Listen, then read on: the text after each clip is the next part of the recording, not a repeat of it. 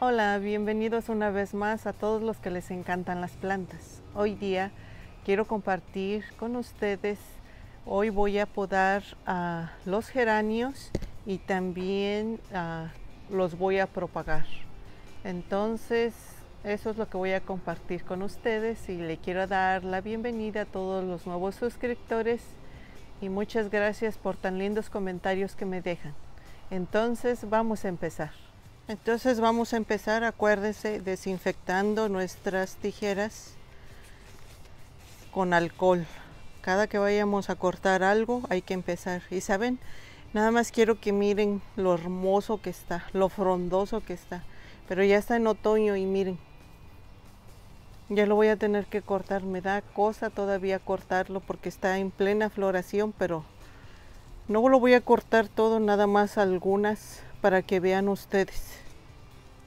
Voy a cortar esta, miren, acuérdense.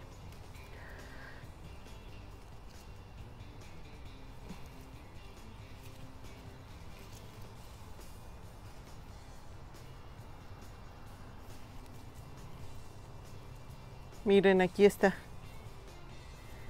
Lo puedo cortar aquí también, pero lo quiero dejar un poquito largo. So aquí está, mire. Creo que es aquí, le voy a dar mejor. Miren.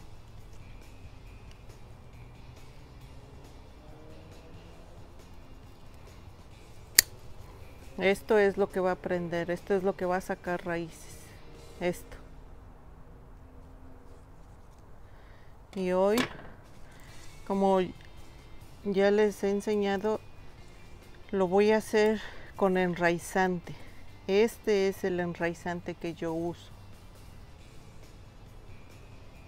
Okay, esta es la hormona que yo utilizo para, para que saque raíces. Y lo hago porque ya vamos, ya estamos en otoño y antes de que llegue el frío quiero que, que enraice.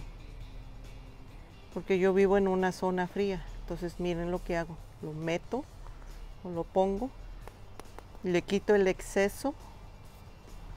Y nada más la tierra acuérdense tiene que estar bien bien drenada. Lo que yo le puse fue um, humos de lombriz le puse la perlita le puse tantito fertilizante. Miren si ustedes no tienen fertilizante pues utilicen ah, algo que tengan o el humus de lombriz o el abono de gallina poquito alrededor la tierra tiene que estar bien drenada y otra cosa, la tierra tiene que estar mojada un día antes. ¿Para qué? Para cuando ahorita nosotros los vamos a plantar, ellos puedan aguantar. ¿Ok? Entonces la tierra está mojada un día antes. Nada más lo que yo hago pues es enterrarlo. Está bien fácil. Y vamos con otro. Pero no voy a agarrar uno que tenga Aquí está este también, miren.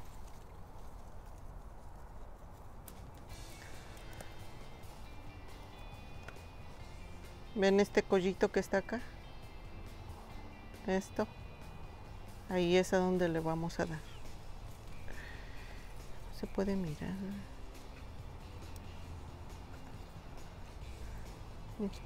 se mira.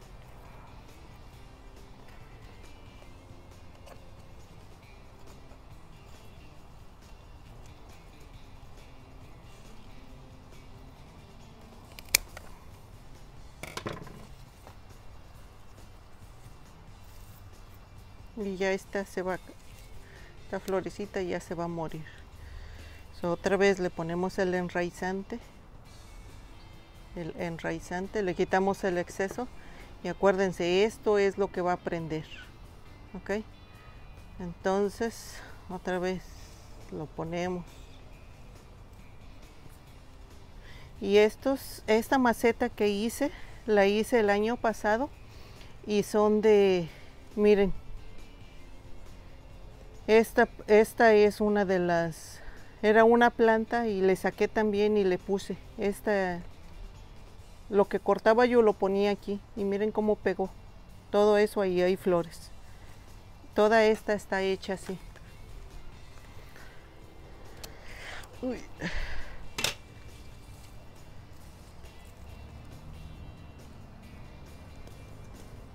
Y así es como yo los propago en otoño. ¿ok?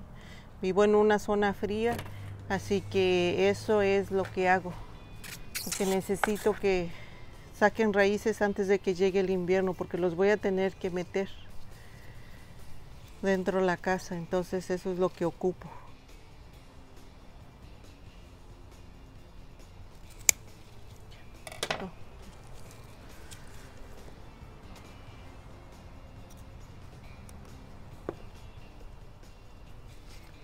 Y así vamos a mojarlos en unos en unos si viven en zonas a donde está muy caliente la pueden mojar en un en unos dos días. Si ahorita ya está fresco a donde ustedes vivan y la tierra todavía está mojada dejen unos tres días unos cuatro y ya la riegan.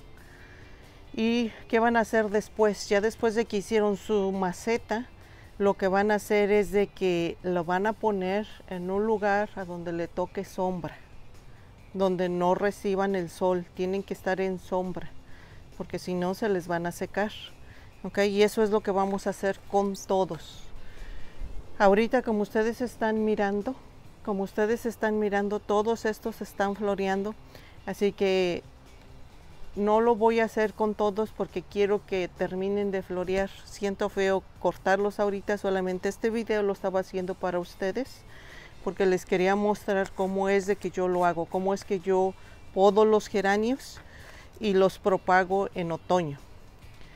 Acerca del, riego, ya saben, ahorita que acaban de, de cortar y propagar, no lo van a mojar hasta dentro de unos dos o tres días. ¿ok? Ya que la tierra vean que se va a comenzar a, a secar, la riegan.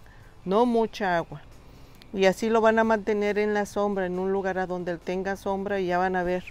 Tarda más o menos unas dos semanas en donde ustedes vean el resultado o en una semana ustedes ven el resultado. Sí se les va a secar las hojitas, algunas hojitas se les van a secar, pero les voy a enseñar uno, uno que hice la semana pasada que hice la semana pasada y quiero que vean cómo ya está. Entonces, todo estas las metí. Estas las metí y miren cómo ya comenzó otra vez a, florear. Hasta comenzó a sacar, ya comenzó a sacar florecitas. Sí, muchas, muchas hojitas se, se secaron y es normal, ¿ok? Eso es normal que pase. Pero miren, le quité todas las hojitas, lo regué y está como, y ya, ya pegaron. Ya pegaron y tiene como Sí tiene una semana aproximadamente que hice y vean el resultado.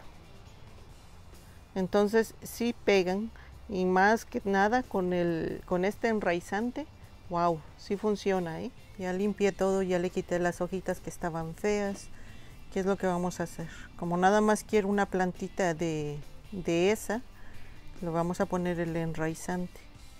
Y lo que quiero es que se siga haciendo más más frondosa. Más frondosa. Entonces le apretamos. Este va a salir para el siguiente año. Les voy a enseñar otra vez.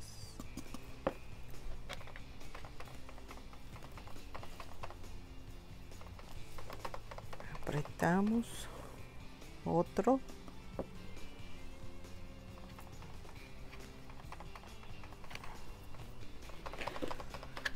y aquí hay otro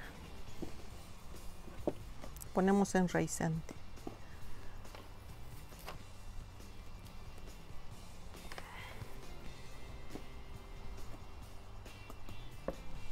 Y uno en medio.